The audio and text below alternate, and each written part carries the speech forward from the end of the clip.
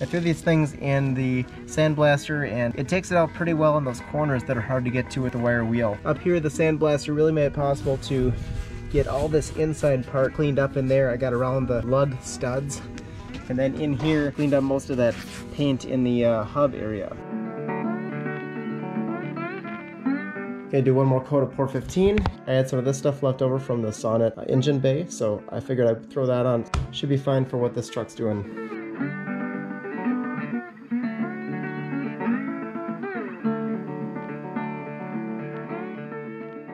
Welcome to Duluth Junction Workshop. I'm Tyler.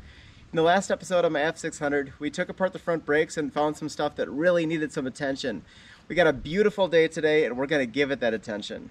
The truck is basically where I left it and I protected it with some plastic bag here so it wouldn't get the rain. Uh, but it's a pretty nasty spindle here. We gotta clean that up first. And on the table here we got everything we need to put it back together. Let's start with the drum and wheel bearing.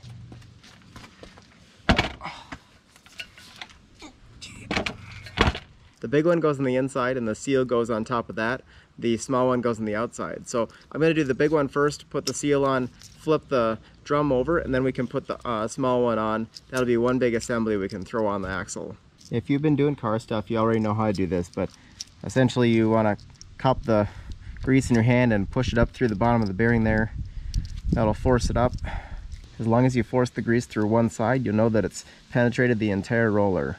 Oh, Nikki found a mouse. What a goofball. Here's our brand new seal.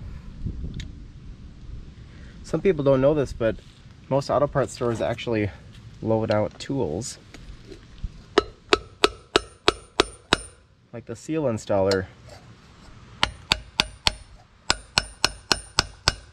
Knowing how to use them is a different problem.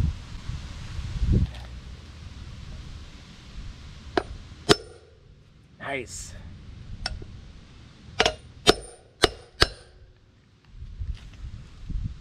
We did have some wear marks on the backing plate last time, and I think that was the uh, seal out too far. So I'm just gonna tap it in slightly below flush.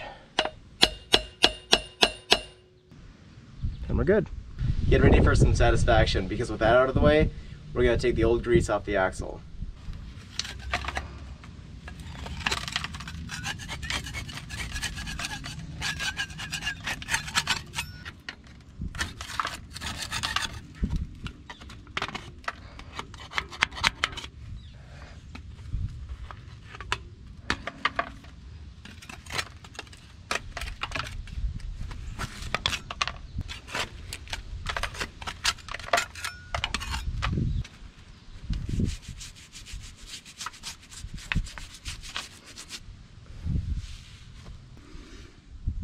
You did get a little lunch, didn't you?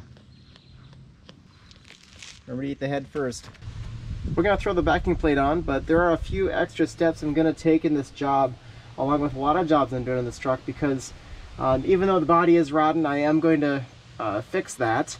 And this car, this truck may see um, some miles in the winter picking up projects or whatever. So I want to make sure that I am giving it the uh, anti-seize and the chemicals that will help it uh, stave off rust if I need to use it in the salty conditions out here in Minnesota.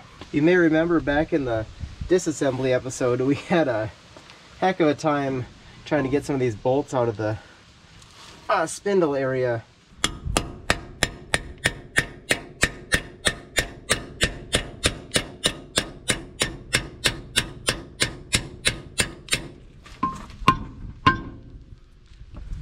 part of that was because there was no anti-seize on them. There was no lubrication whatsoever. So we're going to take these. I did not buy new bolts because I didn't want to. And it's expensive enough getting the rest of this stuff done. So we're going to give this a nice coating of anti-seize and that should protect it in the future and allow these things to come out the next time.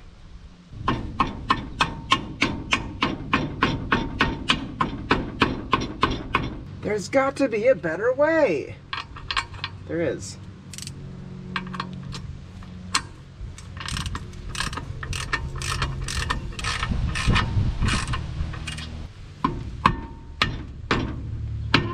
If you were paying attention last time, you might remember that this side has four identical bolts with cotter pins through the back, and that is to mount the steering linkages here I think we need to angle that. And on the passenger side, it's actually only two cotter pin bolts on the bottom. So be careful if you're doing the passenger side on these things. you don't want to get the bolt in the wrong place and have to redo it.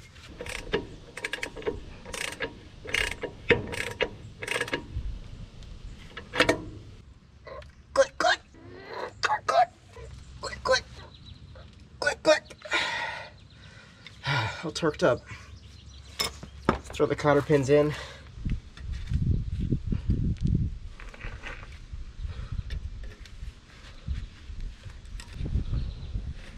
Man, that anti-seize spreads out more than the British Empire. Anyway, we got a dust cover to put on here. Now this shields the inner wheel bearing from dust. So we're gonna throw that on. I made a new gasket for it out of, you know, gasket material stock. Not a big deal, but it's good to have on.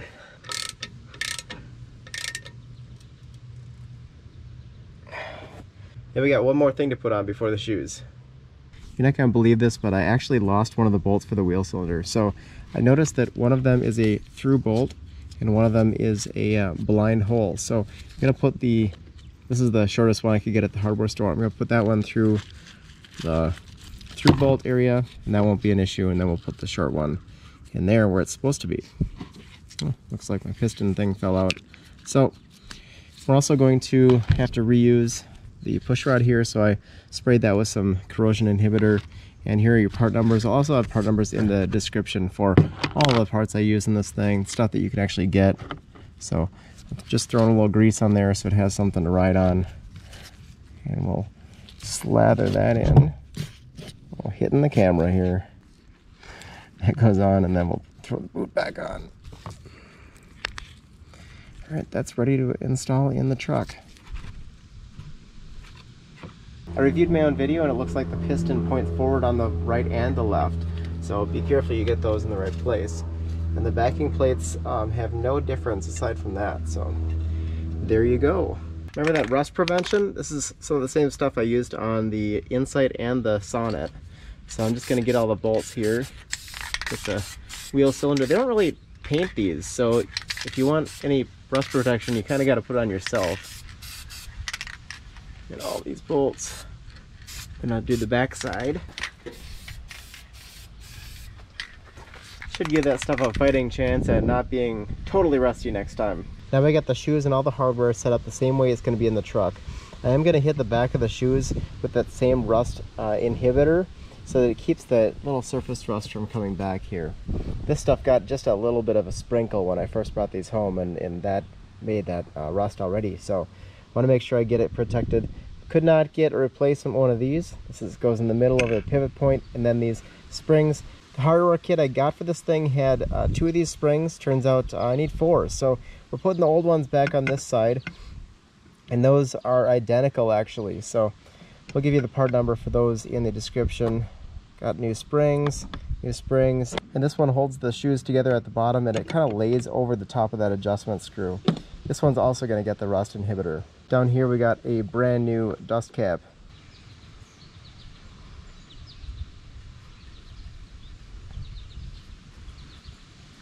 One really nice thing about these is that all four shoes are the exact same thing. So you don't have to worry about front or rear or anything like that. Got my third hand working for me today. Upright, upright, upright.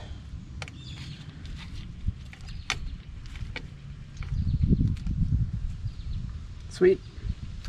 With a finger no less. This side's going to be a little bit more difficult because I have to put the spring in here and the adjuster, it's not a self-adjuster. It doesn't adjust itself, so don't call it that. So I'm going to throw that in. Oh boy. That's fun. I get it? Alright, and that's to go over the wheel cylinder.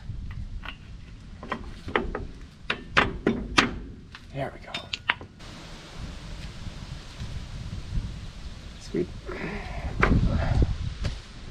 It's time to put this thing over the top pivot. It keeps the springs from rubbing on the shoes themselves. The springs are the same either side, and we're going to use the same spring tool that I used last time. So This is the removal side, and this is the installation side. Definitely want to wear eye protection. This is kind of a spoon, so it hooks over there, and then you want to pick that up, and done. It's really that easy. Same thing.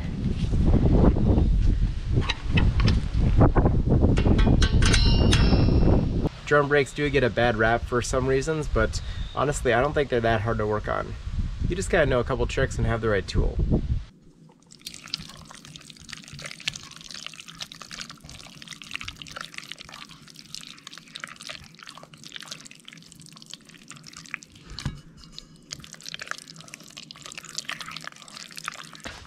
Okay.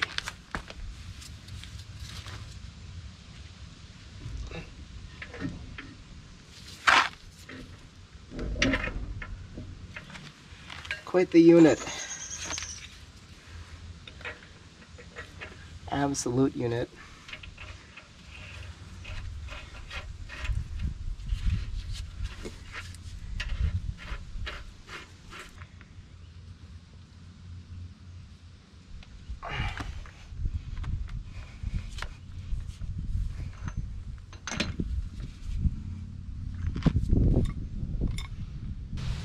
I did deviate slightly from the instructions up here. Um, it does tell you to pack the entire inner of the hub uh, with, with grease, just uh, completely flush with the bearing races, and that seems excessive to me, like a waste of grease. Um, pretty sure that doesn't actually do anything, so I didn't do it. Out here, I deviated from the procedure because I could not find torque spec for the nut. So figured we would just run this up till it felt tight, back it off, and then uh, go up about pretty close to hand tight here. You know, standard procedure. So just so you know, um, if you're doing this, that if you can find the specs, go for them. I couldn't. All right, we got anti-seize on that. Thankfully it wasn't rusty. we'll throw that on. Come on. Get into threads there. One other thing is that I did store the drums with WD-40 inside the braking surface, so I had to make sure that I got back and wiped that out with brake clean afterward. You don't want the braking surface getting too rusty or anything, and you also don't want to leave oil on your brakes. So we are, uh, I think we're good here. I'm going to go and adjust the shoes correctly and we will uh, move on. Thanks for coming along with me on this project. There's one more thing I forgot to mention. The passenger side of the drum is adjusted perfectly and has zero drag whatsoever, as the book says it should. The driver's side, however, is backed all the way off and it still has a little. What I'm going to do is put the rest of the brake system together, take it for a test drive and see if it kind of beds in place and uh, will allow itself to adjust properly. There's one more thing you can do to adjust the brakes on these. You can loosen that big nut on the back of the backing plate and adjust the position of the pivot pin and that will help you center the shoes inside the drum. I'm not going to do that now. I tried not to get into that because that thing looks like a big pain to get off and I actually painted over the nut. So we're to try to drive the truck first and see if that solves itself. That's enough brake stuff for me today, but yesterday I almost finished bending up all the new NiCopp lines for this truck, for the front of the truck at least. And we are going to do that in the next episode. So stay tuned, come on back. We're gonna throw the master cylinder in, we're gonna throw the brake lines in, the hoses, bleed the system, we're gonna bleed the hydrovac, and should be able to take this thing on a drive with actual brakes, not just that drum on the transmission. So thank you for watching and press on. What are you, a wasp? What are you doing? Get out of here. Go. Go away. Bet the wasp came from my transmission planter, didn't it? Gosh, this thing is nice. Just love it. What a good use for an automatic transmission.